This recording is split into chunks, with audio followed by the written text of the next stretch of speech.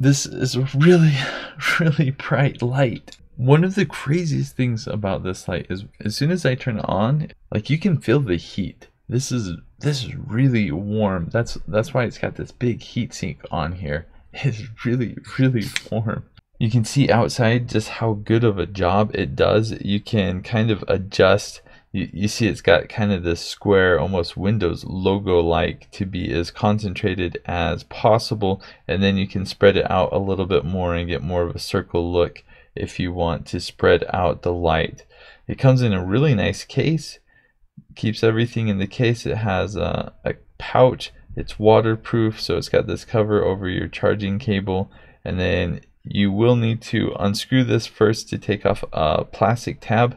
I've never seen a beefy battery like this before. This is a really big beefy battery, really impressive. So you just press the button to turn it on. It shows the battery level and then it's got different modes as well.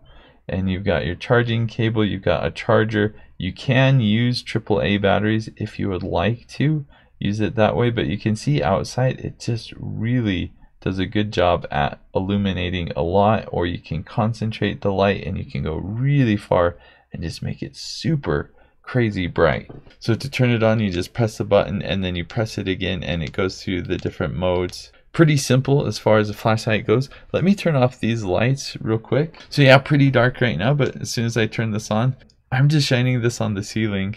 If you move it like this, you can kind of concentrate the light if you want. So I can have it highly concentrated.